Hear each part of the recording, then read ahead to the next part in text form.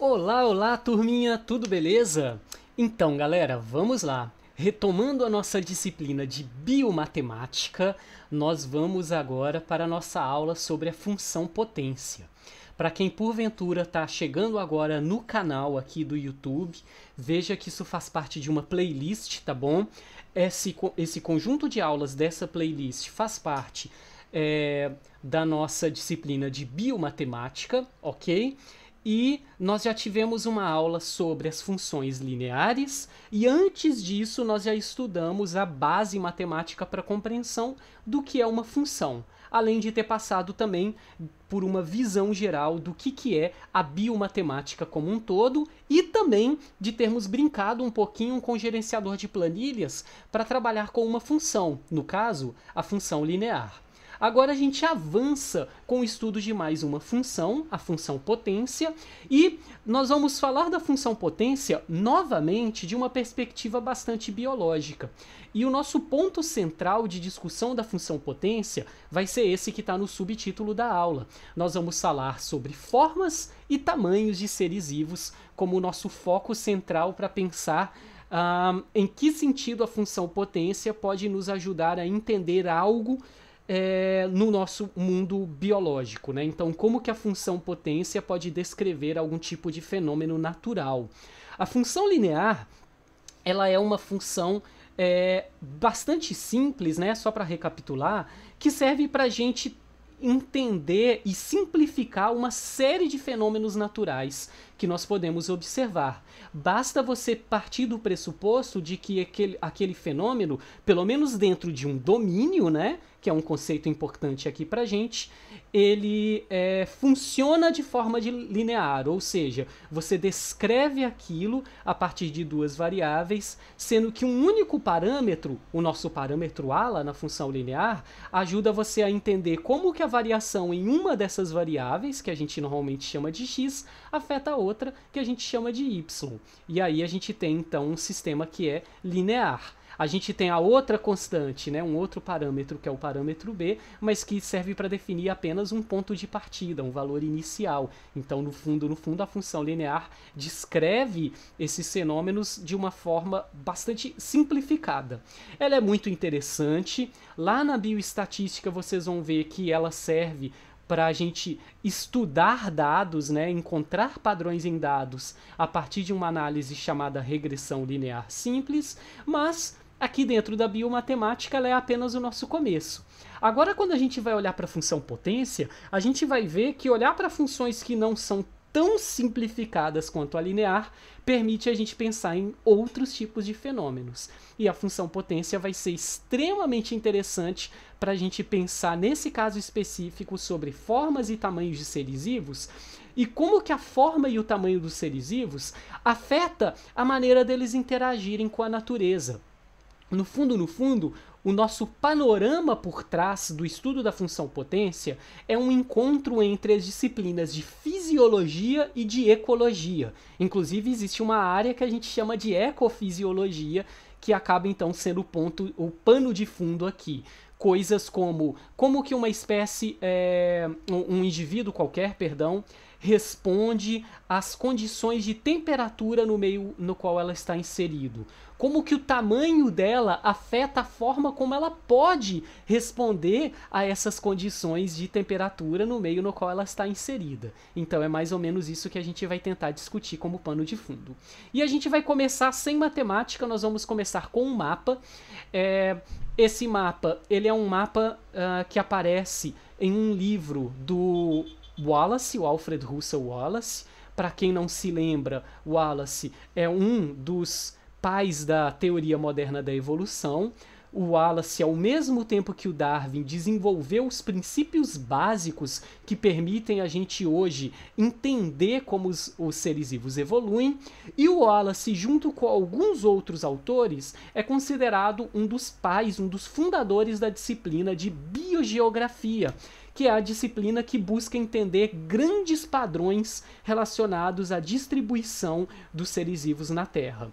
E o Wallace tem um livro que ele publicou sobre a distribuição dos animais no planeta, e nesse livro ele traça esse mapa que é um dos primeiros mapas então que a gente tem isso na biogeografia é muito trabalhado né, lógica de ecorregiões no planeta. O que, que seriam ecorregiões? Seriam divisões do planeta ligados não apenas à divisão geográfica, geológica, mas às divisões biológicas, né? Então você vê ali que existe uma re região neotropical, se você olhar ali para onde está o Brasil, você vê que tem uma região neártica, se você olhar ali para a América do Norte, se você olha ali para a Ásia e Europa, você vê que tem uma região paleártica, depois você vai vendo regiões mais ao sul também ali é, na parte oriental do nosso mapa e por aí vai.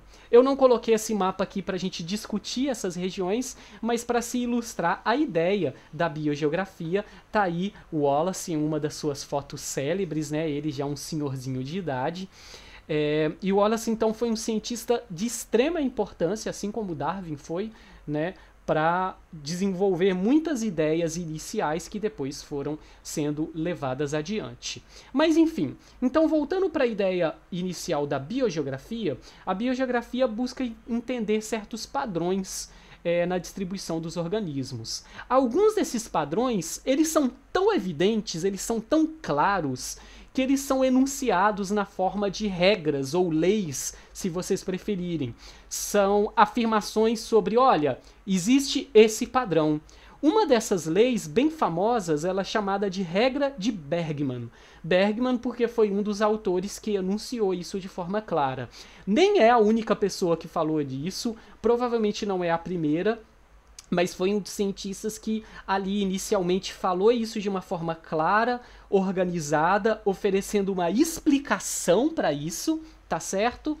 É, então, a, essa, esse padrão acabou então sendo é, levado adiante dentro do, do estudo da biogeografia com o nome dele, daí regra de Bergman, e basicamente o Bergman falou de forma mais complexa e formal que quanto mais frio, maiores são os bichinhos.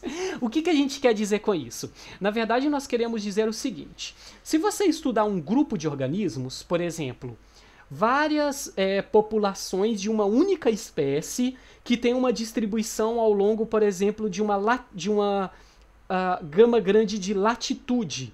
Ou seja, você vai andando na direção do hemisfério norte ou andando na direção do hemisfério sul e você vai encontrando populações dessa espécie.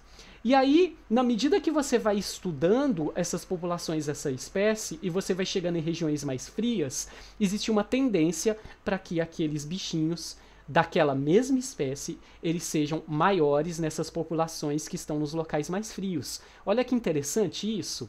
Essa regra de Bergman vai valer para populações de uma mesma espécie, ela vai valer para espécies diferentes, mas que estão aparentadas evolutivamente, que fazem parte de um mesmo clado, de um mesmo grupo evolutivo.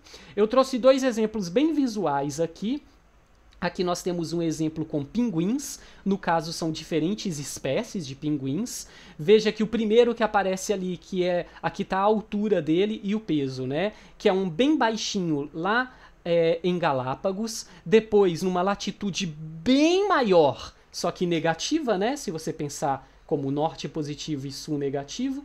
Numa latitude bem maior, você tem um pinguim ali na Argentina e depois você tem um pinguim já no extremo do nosso hemisfério sul, de onde existem seres vivos, na Antártida, e esse pinguim muito maior. Vejam esse padrão de tamanho. Hum, aqui falando de espécies aparentadas, mas que não pertencem à mesma espécie. Um outro exemplo é um exemplo na Suécia, tá bom? É, esse gráfico eu quero que vocês foquem nos pontinhos e na linha que está traçada no ponto. O eixo X é o tamanho médio, tá bom?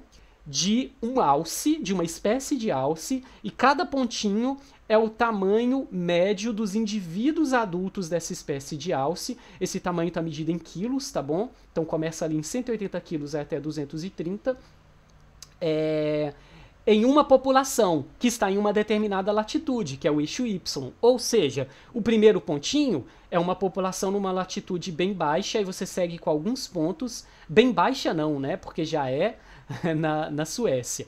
Mas perceba que quando você vai estudando populações e latitudes mais elevadas, o que, que você vai encontrando? Você vai encontrando populações com um peso médio bem maior. Os indivíduos dessas populações são maiores. O que, que essa linha representa? Ela representa a tal da regressão linear que eu mencionei. Ela é uma função linear que resume o padrão dos pontos. Então, basicamente, essa linha está nos dizendo que quanto maior a latitude, mais você encontra indivíduos maiores. Ou se você preferir inverter, você encontra indivíduos maiores em latitudes maiores, de uma forma geral. Tudo bem?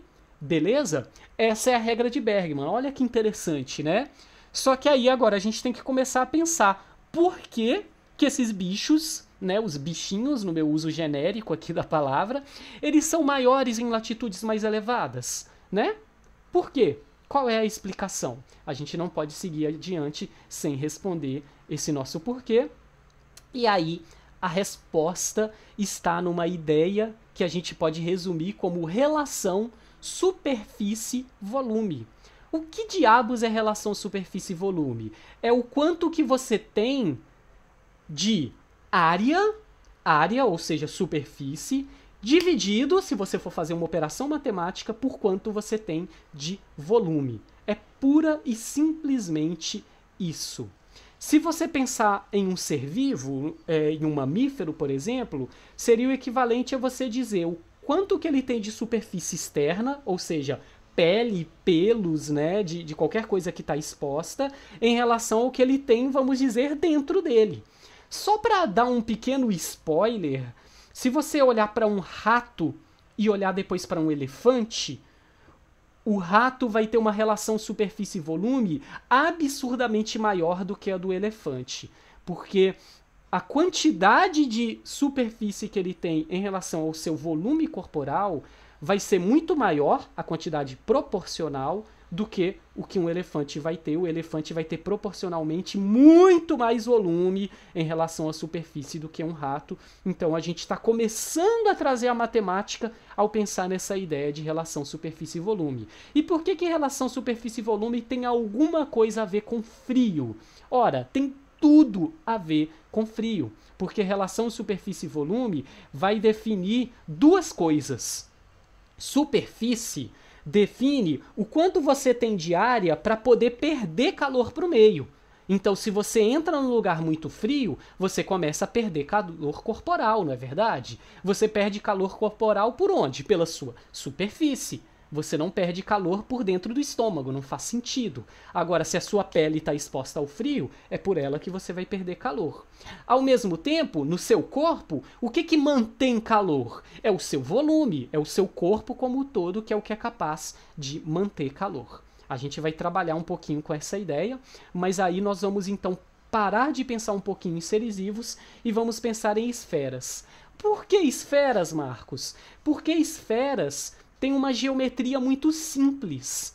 O que, que a gente precisa saber, de um ponto de vista agora mais da geometria, da matemática, para conhecer uma esfera? Você só precisa de uma dimensão, o raio. Se você me fala, uma esfera tem raio 10 centímetros, eu sei tudo que se precisa saber de um ponto de vista geométrico sobre essa esfera porque eu sei que o raio 10 centímetros permite eu calcular o tamanho final da esfera, eu já sei que o diâmetro dela é 20 centímetros, então se eu representar um círculo que representa os contornos dessa esfera, se eu tiver uma régua e um compasso, eu já consigo representar esse círculo, é... e aí eu já sei então o tamanho dessa esfera. Se eu quiser calcular com precisão dessa esfera de 10 centímetros, uh, a sua área da sua superfície e o seu volume total, eu tenho duas formulinhas que permitem eu calcular isso no instalar de dedos, que são essas duas formulinhas aí. A superfície de uma esfera, que é uma área né? Por isso vai ser ao quadrado, vai ser 4 vezes πr ao quadrado. Ou seja, eu pego 4, eu multiplico pelo número π. Lembre-se que π é um número, é uma constante, né? Ela não, não vai mudar de uma situação para outra. Eu posso arredondar para 3,14, por exemplo. e aí eu pego o raio ao quadrado, pelo menos, esse, por exemplo, esse raio de 10 centímetros. O resultado é a área da superfície dessa esfera em centímetros quadrados. Seria equivalente a eu pegar essa esfera, desmontar e abrir toda a superfície dela. Imagina que essa esfera fosse oca, fosse tipo uma bola dessas que a gente chama de dente de leite, né? Então, uma bola ali emborrachada e ela tá cheia de ar Aí imagina que eu esvazio, faço um corte fininho e abro essa bola numa mesa e eu calculo a área dessa superfície da bola. É isso daí.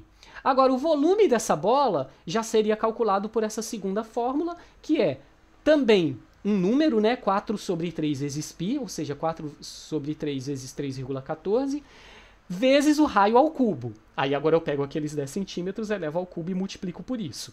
Isso me dá o volume dela.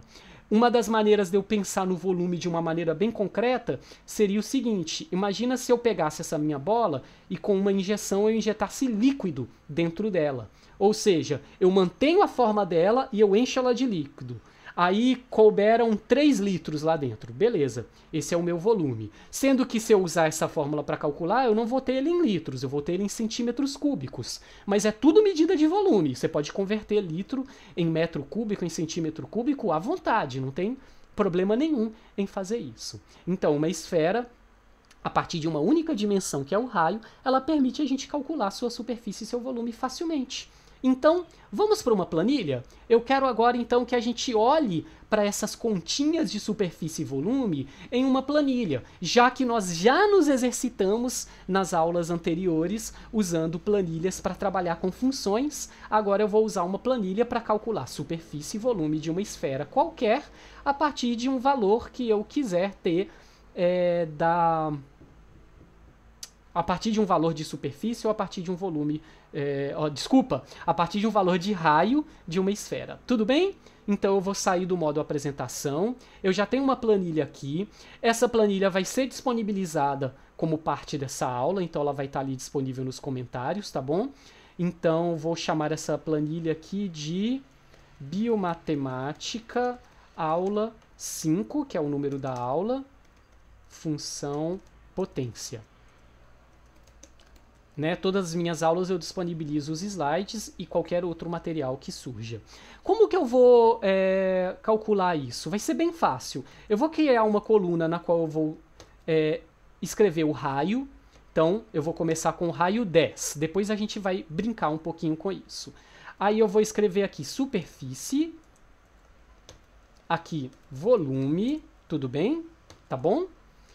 E qual é a superfície, então, de uma planilha? Ora, a, de uma planilha é ótima, né, gente? Olha, é quase uma pergunta filosófica.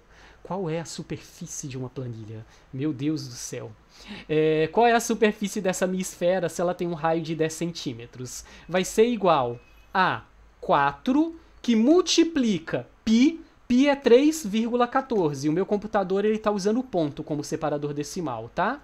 Vezes Aí eu vou abrir parênteses, o raio, vou fechar parênteses, e esse raio é ao quadrado. Ao quadrado é um acento circunflexo 2. Então, o acento circunflexo, para ele aparecer, se aperta barra, 2.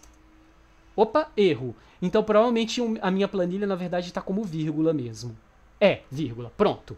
Então, se eu tenho uma esfera com raio 10 centímetros, a sua superfície é 1256 centímetros quadrados. Beleza? Deixa eu clicar duas vezes aqui para vocês olharem de novo a fórmula, mas claro, vocês podem acessar a planilha para ver.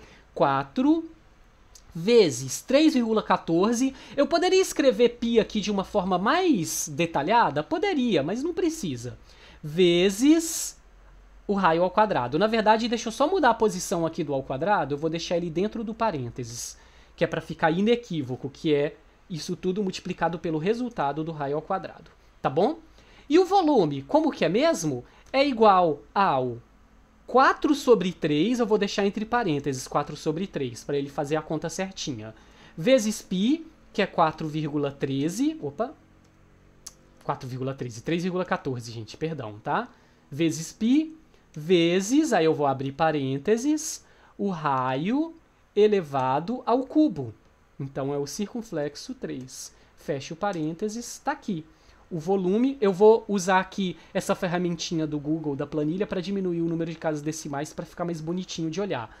É 4.186,7 centímetros cúbicos. Sabe o que, que é legal dessa fórmula que eu, que eu calculei? Eu posso fazer o seguinte com ela. Imagine que a minha esfera tivesse um raio de 5 centímetros. Qual seria a superfície? Qual seria o seu volume? Tá aqui, ó. Imagina que ela tivesse o raio de 15 centímetros. Qual seria a super, superfície? Qual seria o seu volume? Marcos, o que diabo você está fazendo? Eu estou copiando e colando a fórmula e eu já ensinei isso na aula, é, numa aula anterior para vocês, né? Que isso significa que ele arrasta a referência. Nesse caso, a fórmula é muito simples. O único ponto de referência que ele precisa é o raio. Porque lembra, isso é a beleza de uma esfera, né? Então eu posso fazer isso, ó, 20, 25, 30. Eu posso simplesmente aqui, ó, arrastar. E agora eu tenho a superfície e o volume de uma esfera de vários tamanhos. Deixa eu fazer só um tamanhozinho menor. 3. Olha que legal. Superfície e volume, quando o raio é igual a 3, são idênticos os valores. Apesar disso ser... Idênticos não, né? Mas são muito próximos. Não, peraí. São, são idênticos. É... Isso daqui está em centímetro quadrado, isso daqui está em centímetro cúbico, mas o valor é o mesmo. Então aqui eu posso imaginar uma esfera. Agora imagina essa esfera fazendo assim. Gostaram do efeito sonoro? Ela está crescendo, ela está encolhendo. Eu olho para a esfera de 10 centímetros de raio. Aí eu estou olhando para ela. Aí ela começa a crescer. Bum. Ela cresce. O que, que acontece com a superfície dela? Ora, se o raio aumenta, a superfície aumenta, né? E o que, que acontece com o volume? Ora, o volume aumenta também. Beleza. Ah, ela está encolhendo, ela está encolhendo. O que está acontecendo? Ora, a superfície está diminuindo e o volume está diminuindo também. Tudo bem? Só que tem uma pegadinha aqui, tem uma coisa bem legal. A relação superfície-volume, ela está mudando. Sabe por quê? A fórmula que dá a superfície e a fórmula que dá o volume, ela tem, é, elas têm uma diferença crucial não é 4 ou 4 sobre 3. Essa é a diferença pequena. É o que está ali no final. O raio está sendo elevado ao quadrado para o cálculo da superfície, sendo elevado ao cubo para o cálculo do volume. Significa que quando você vai aumentando, ó, o volume aumenta mais rápido do que a superfície. Não sei se vocês conseguem perceber isso olhando, então eu vou calcular a relação superfície e volume que é literalmente você pegar a superfície, o valor, e dividir pelo volume. Isso vai te dar, então, a relação superfície e volume. Quando eles forem iguais, essa relação dá 1. 1 significa que as duas medidas são iguais. Ó, igual a isso daqui, dividido por isso. Dá 1. Agora, quando elas não são iguais, por exemplo, o que, que significa esse 0.6? Significa dizer que o volume, que a superfície, ela é apenas 60% do valor do, do volume. Então, vou repetir. 0,6 significa dizer que a superfície, nesse caso, quando o raio é igual a 5, ela é apenas 60% do valor do volume. Agora vamos brincar de aumentar? Olha aqui o que, é que acontece quando o raio é igual a 30. Parece que o número é igual, mas você vê que não é. Aqui é 11.304. Aqui é 113.040, não é verdade? Deixa eu omitir essa última casa decimal, só para ficar fácil de vocês verem a diferença entre os dois números. Ou seja, quando o raio é igual a 30, a superfície é apenas 10% do valor do volume. Olha que coisa interessante. Então significa que se eu tenho uma esfera e ela vai aumentando de tamanho, ela está aumentando nas suas na, na, em todas as suas dimensões. Na verdade, é uma dimensão que é o raio. Mas ela está aumentando de tamanho, a superfície está aumentando e o volume está aumentando. Mas quanto maior a esfera fica, o volume está sempre crescendo mais rápido do que a superfície está crescendo. Então, quanto maior a esfera, menor a relação superfície e volume. Lembrou da comparação rato e elefante? O rato tem uma relação superfície e volume maior do que o elefante. O elefante tem uma relação superfície e volume menor.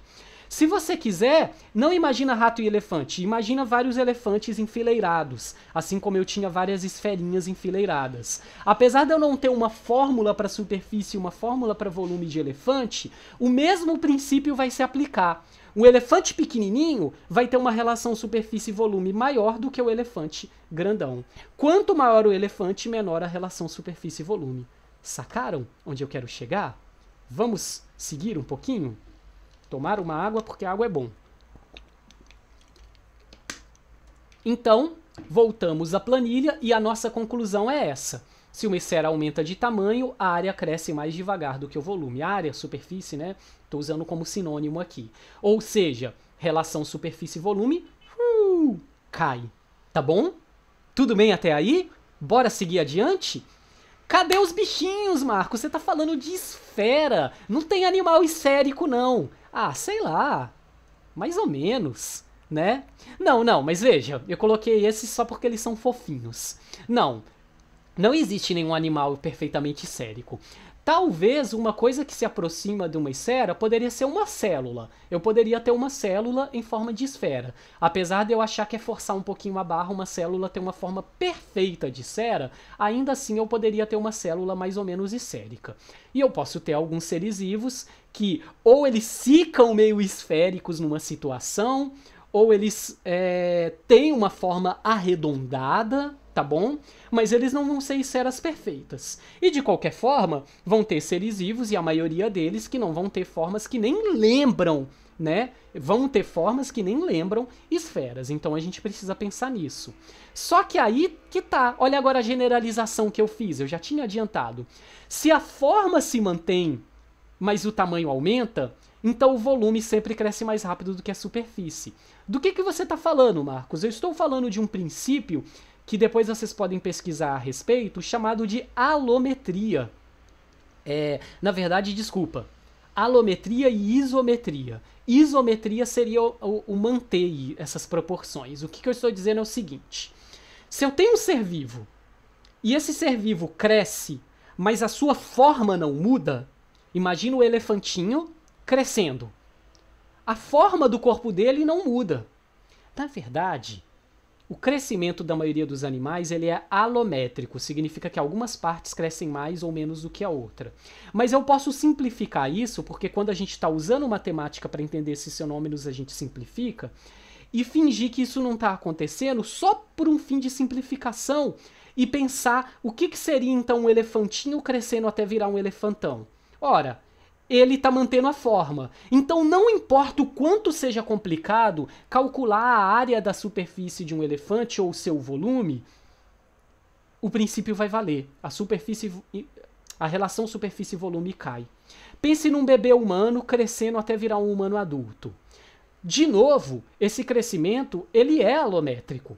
Se a gente crescesse de bebê até virar adulto, mantendo todas as proporções, a gente ia ser muito esquisito. A gente ia ser muito cabeçudo com bracinhos e pernas curtinhos. Mas quando eu estou crescendo, eu cresço de uma forma alométrica. Algumas partes do meu corpo crescem mais do que outras. A cabeça cresce menos do que as outras partes, porque nosso cérebro já está quase formado, é, quase completinho, quando nós somos bebês que nasceram. Então, as partes do corpo vão crescendo em ritmos diferentes. Isso, obviamente, vai afetar a relação superfície volume. Mas, de uma forma geral, a maioria dos seres vivos, então muita calma nessa hora, a maioria dos seres vivos, quando eles se desenvolvem e crescem, eles não mudam muito a forma.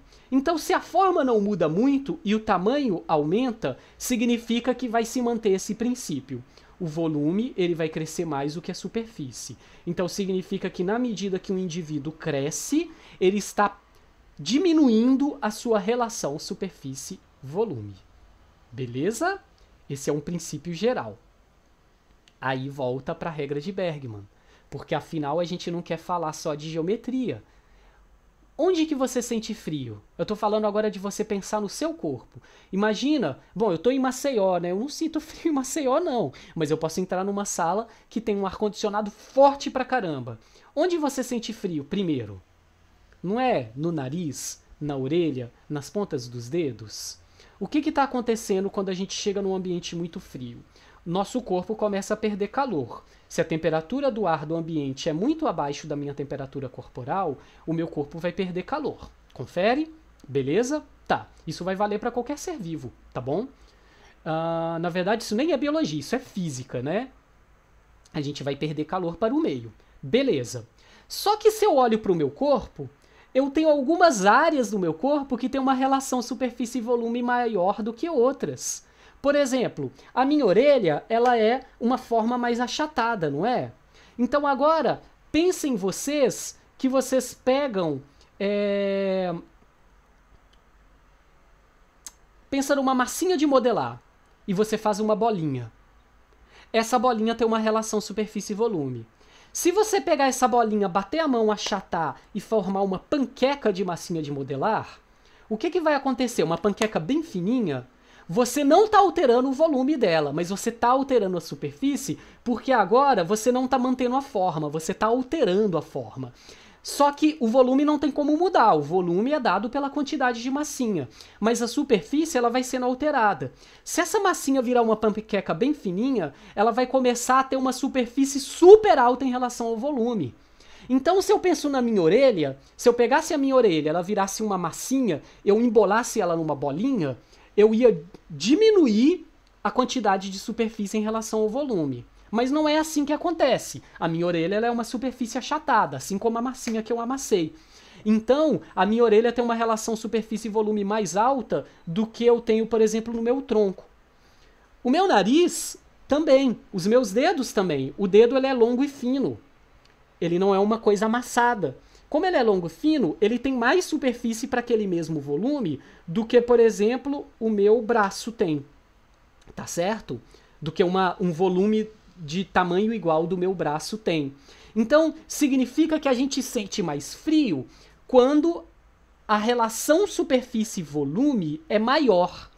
Quanto mais superfície eu tenho para o calor ser perdido para o meio, em relação ao meu volume, mais eu vou perder calor por aquele pedaço, e mais então é, isso significa que aquele pedaço vai ter uma relação superfície-volume maior e eu vou perder mais é, frio por ela. Então, por que, que existe a regra de Bergman? Evolução, galera. Quando os organismos estão expostos a ambientes que são mais frios por muito tempo, significa que indivíduos que têm um volume maior em relação à sua superfície, eles perdem menos calor, eles conservam mais calor.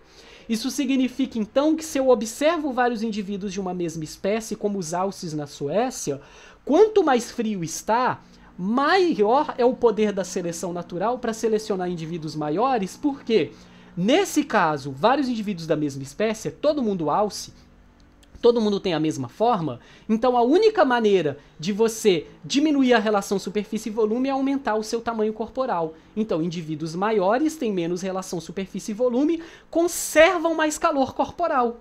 Ou seja, um alce grandão vive melhor numa área muito fria do que um alce pequeno.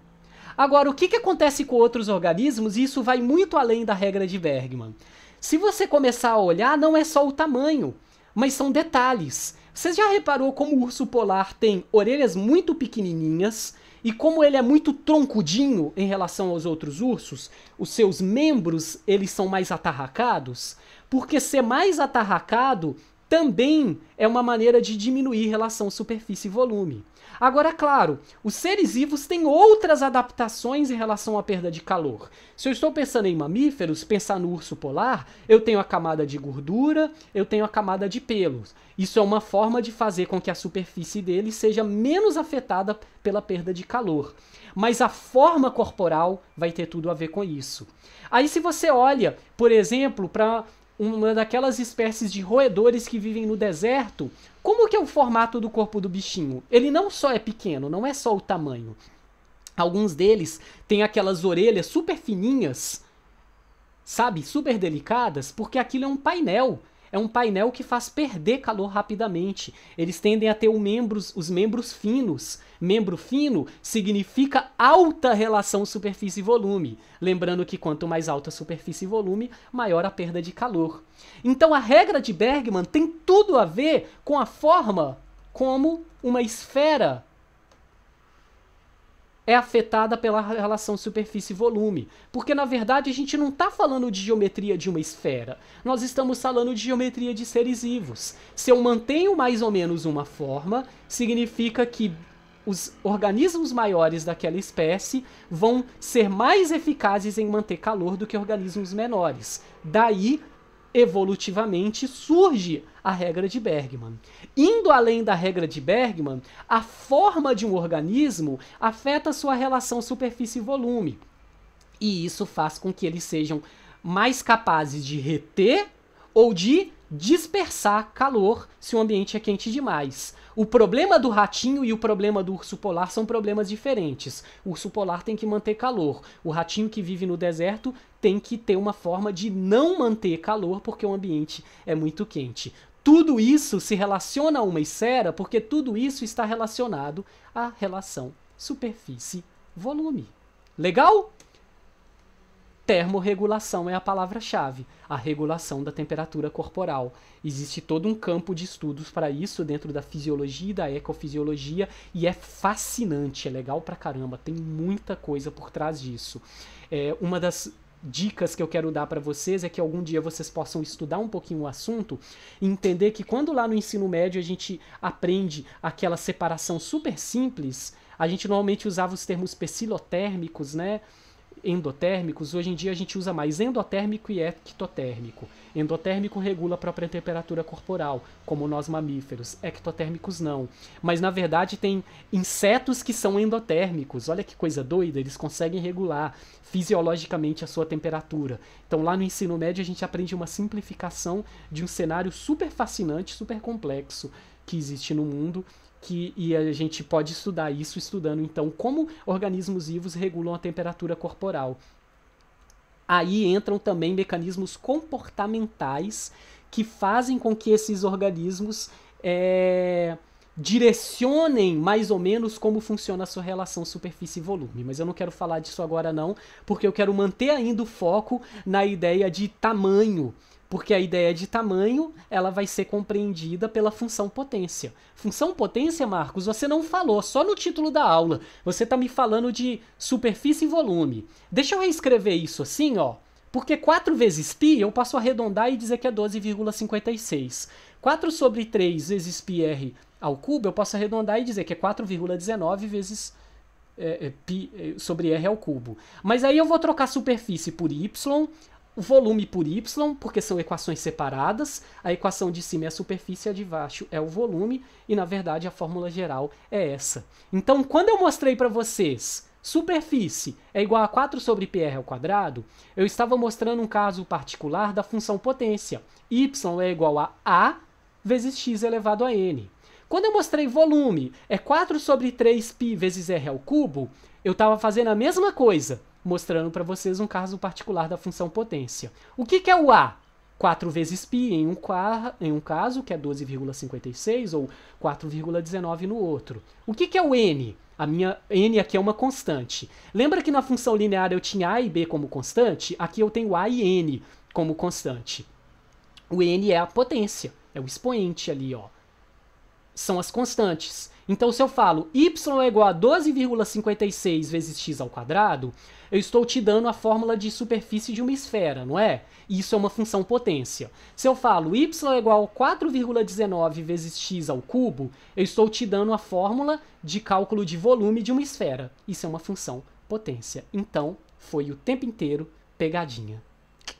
Gente, que gif medonho, né? Como que um professor tem coragem de colocar o Sérgio Malandro nesse gif horroroso? Pois é, desculpa, perdão, mas eu senti a necessidade de colocar isso, foi mais forte do que eu.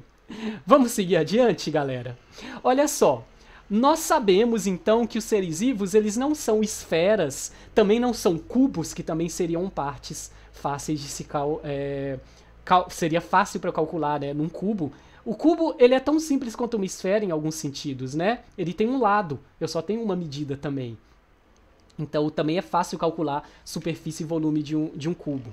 Aí eu vou deixar como link para vocês um, um vídeo lá do Khan Academy, que é uma plataforma super legal de ensino, é, mostrando como que eu pegar, pegaria, por exemplo, isso, tá vendo? Uma forma, uma forma que não é totalmente é, conhecida em termos tipo, ah, ela não é um cubo, ela é um paralelepípedo com um pedacinho saindo do lado né? Apesar de tudo ser cúbico.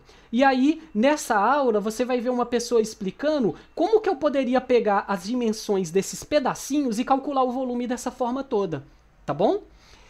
Por que, que eu estou mostrando isso? É apenas uma sugestão para vocês assistirem. Se vocês já captaram a ideia, tá tudo bem. Aqui eu quero passar a ideia, não como se calcula. Mas a aula é bem simples e bem didática e eu recomendo que vocês vejam.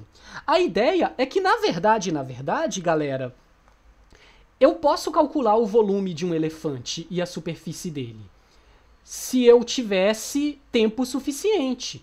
Por exemplo, imagine que eu chegasse perto do elefante, ele ficasse paradinho, ele tivesse de boa com a minha presença. Eu olhasse no corpo dele a parte que é mais delgada, vamos dizer assim. Talvez fosse a pontinha da orelha dele. Aí eu medisse a espessura e eu pensasse: olha, imagine que eu vá reconstruir esse elefante, digamos que fosse Tô inventando, tá? 5 milímetros. Aí eu pego a minha régua lá, ou seria um paquímetro, né?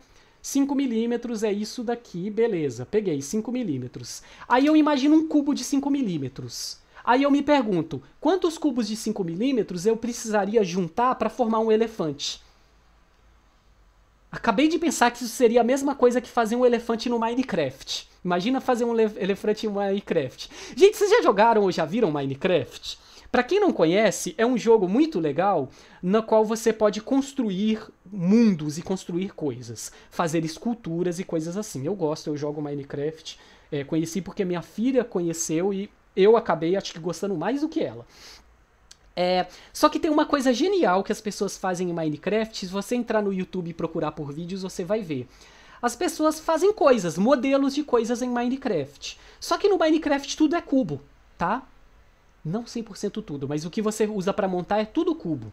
Então, se você quer montar, por exemplo, um modelo da Estrela da Morte do Star Wars, que é basicamente uma coisa esférica, em Minecraft, sabe o que você vai ter que fazer? Você vai ter que usar tanto cubo, mas tanto cubo, e depois olhar ela muito de longe, que você mal vai perceber que ela foi formada por cubos. Porque de longe vai ser como se esses cubos fossem pequenininhos. Sacaram a ideia? Então eu posso pensar em transformar um elefante em microcubinhos e aí, a partir desses microcubinhos, eu poderia calcular fácil a relação é, é, não, eu poderia calcular fácil a superfície e o volume desse elefante, porque eu conheço a geometria de cubinhos, não importa o tamanho deles. Sacaram a ideia? Não é que eu vá fazer isso na prática. Na verdade, hoje nós temos tecnologia para, por exemplo, escanear um elefante. A gente não tem impressora 3D hoje em dia? Eu poderia criar um modelo computacional do elefante, colocar no computador e o computador me daria sim num instante superfície e volume dele. Afinal, a gente está num mundo onde nós temos efeitos especiais que vão fazer, por exemplo, você olhar um filme, ter um dinossauro e o dinossauro parece de verdade ou ter um gorila gigante lutando contra um réptil gigante, e aí todo mundo curioso para saber quem vai vencer, de que forma o gorila vai ter alguma chance contra um réptil radioativo gigante que dispara raios e coisas assim, enfim, vamos deixar para lá esse papo. Controvérsias da internet. O que importa é que eu poderia então usar um poder computacional para isso, mas se eu quisesse reduzir isso a um problema de geometria, por mais que eu pudesse pensar, nossa, eu vou, vou passar uma vida calculando superfície e volume de um elefante em cubinhos, mas é possível. Na verdade, na verdade, eu quero que agora vocês só abstraiam essa ideia e comecem a pensar que se a forma se mantém e o tamanho aumenta, então o volume sempre cresce mais do que a superfície. Isso de acordo com uma função potência, né? Eu posso transformar isso numa ideia muito mais simples que é a seguinte. Se eu falo para vocês, gente, eu tenho um animal que tem uma superfície de 100 centímetros quadrados e um volume de 500 centímetros quadrados. Esse animal dobrou de tamanho. Qual é a nova superfície, qual é o volume? No lugar de você pensar, não, Marcos, é impossível eu fazer isso, porque eu não tenho uma fórmula para calcular a superfície e volume desse animal. Eu vou dizer o seguinte: se a forma desse animal não mudou, Então as fórmulas são essas. A nova superfície é o quanto ele aumentou ao quadrado vezes a superfície original. O novo volume é o quanto ele aumentou proporcionalmente de tamanho ao cubo vezes o volume. Vamos voltar para a planilha? Deixa eu ver se eu coloquei. É, queremos planilha. Vamos fazer isso numa planilha? Ó, eu vou deixar assim que é para a gente poder enxergar. Ah, não, aí ele tampa a fórmula de qualquer forma. Mas não tem problema. A forma, então, é nova superfície. Então, vamos lá. Superfície inicial. Aumento ou diminuição, porque vocês vão ver que vale para os dois, tá? Dimi... Eu escrevi errado. Nuição. Tá bom? É o meu valor de C. Então, vou chamar isso de S. Aqui é o meu C. E a superfície, superfície final, que eu vou chamar de S'. Aqui na minha fórmula. Ó, vamos só olhar para ela de novo sem o meme na frente. Tá bom? S' é igual... Percebam de novo, olha ali para o lado é a função potência. Agora eu estou usando o valor inicial da superfície como constante para ter um novo valor. E esse meu C vai ser um valor, a minha variável vai ser um valor de, que representa aumento ou diminuição. Então, se eu tenho esse meu bichinho com, vamos lá, deixa eu deixar negrito porque fica destacado, fica bonitinho, né? Se eu tenho esse meu C, essa minha superfície inicial, eu tinha falado 100 centímetros quadrados. Estou inventando valores. E o bicho dobrou de tamanho, então a minha nova superfície é isso vezes isso daqui ao quadrado. É a mesma fórmula que está. Opa! Eu coloquei o parênteses errado. Isso vezes... Opa! Pera aí, gente, deixa eu deletar aqui é igual a isso vezes, aí eu abro parênteses, isso daqui elevado ao quadrado. Pronto. A nova superfície é 400 centímetros quadrados. Se ele tivesse 100 e ele diminuiu de tamanho pela metade, é um 0,5, a nova superfície é 25, 25 centímetros quadrados. Eu posso repetir isso tudo para volume? Posso. Eu vou fazer aqui do lado. Aí eu vou chamar de volume, eu vou só alterar. E onde é ao quadrado eu tenho que colocar o cubo. Aumento, diminuição. Volume final. V. V'. Só que aqui eu coloco ao cubo. Ó, aqui está a variação de volume. Então eu tenho a variação de superfície, a variação de volume. Vamos dizer que o bicho é 100, mas ele aumentou em 50% de tamanho. O tamanho original dele era 100, essa é a nova superfície dele. A mesma coisa aqui. Digamos que ele aumentou em 50% de tamanho. Esse é o novo volume dele a partir do 100 tá certo? Aqui você só leem de forma diferente. No fundo do fundo, a função potência, ela me traz de novo, aí eu vou repetir, porque a gente já olhou isso, ela me traz de novo essa ideia de que se a forma se mantém, um aumento de tamanho vai fazer o volume crescer mais do que a superfície, uma diminuição de tamanho vai fazer o volume diminuir mais do que a superfície, a relação superfície e volume ela vai aumentar ou diminuir enquanto a forma se mantém. Se você aumenta de tamanho pela for pela, por essa forma geral dada pela função potência também, né? Eu estou criando uma forma geral de entender superfície e volume a partir da, do formato da função potência. Não importa o, o que era o formato, se era uma aranha, se era um hipopótamo, um elefante, um passarinho, não importa. Se, o, se a forma geral daquele organismo não mudar, ou se ela mudar pouco, se ele crescer, a, diminui, a relação superfície e volume cai. Se ele encolher, a relação superfície e volume diminui. E em relação ao a questão biológica, a gente pode agora pensar que, na verdade, toda essa brincadeira com a função potência e com relação superfície e volume pode me ajudar a entender um monte de coisas. Regulação de temperatura a gente já falou. trocas gasosas. Ei, por que, que o nosso pulmão ele tem todas aquelas divisões seguidas de divisões seguidas de divisões, hein, gente? Porque isso aumenta absurdamente a relação superfície-volume.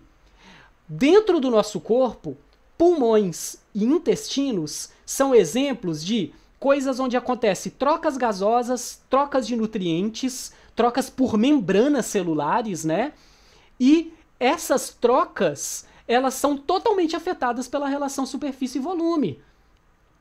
A troca por uma membrana, que é o que em última análise está acontecendo, uma membrana celular, a membrana é uma superfície, a célula é um volume. Se eu tenho um órgão como o pulmão e por dentro dele eu tenho um monte de microdivisões, isso é uma maneira da relação superfície-volume explodir pelo teto. Ou seja, é uma maneira de eu ter muita superfície para aquele volume. A mesma coisa os nossos intestinos. Eles têm tantas dobras e subdobras e sub-sub-subdobras que faz com que você maximize a superfície em relação ao volume. Então, trocas em membranas, absorção de nutrientes, trocas gasosas, tem um monte de coisas que são afetadas pela relação superfície-volume, e em última análise, a relação superfície-volume pode ser compreendida de forma simples, trabalhando, por exemplo, com superfície e volume de uma esfera. Olha que simples, olha que fantástico, na verdade, que interessante isso, né? Então, nós temos aqui a função potência como uma maneira de eu olhar sobre como a relação superfície-volume de organismos inteiros ou de partes do corpo do organismo ou de células afetam vários mecanismos que estão relacionados a como esse organismo interage com o ambiente. Vários mecanismos fisiológicos ou ecofisiológicos, se vocês preferirem. E tem um mundo de coisas que pode ser estudado a partir daí. Legal? É isso. Nesse momento, eu convido vocês então a trabalharem com duas coisas que eu quero que vocês tirem dessa aula. A lógica geral da função potência, que no fundo, no fundo, é relativamente simples, é um y é igual a x elevado a n, não é uma função, perdão, complicada de se entender e ao mesmo tempo que vocês pensem então sobre como que a forma dos seres vivos afeta a forma como eles interagem com os ambientes no qual eles estão inseridos. E aí eu convido vocês a buscarem um pouquinho na internet, buscarem coisas sobre absorção de nutrientes, regulação de temperatura, trocas gasosas e façam essa associação, porque ela está aí. A função potência, então, ela é uma maneira bem interessante da gente entender a base na qual vários mecanismos biológicos é, está inserida. Beleza? Joinha? Então é isso, galera. Espero que vocês tenham curtido a aulinha de hoje. Vamos seguindo que a gente ainda tem mais conteúdo pela frente. Grande abraço, pessoal, e até a próxima aula. Valeu!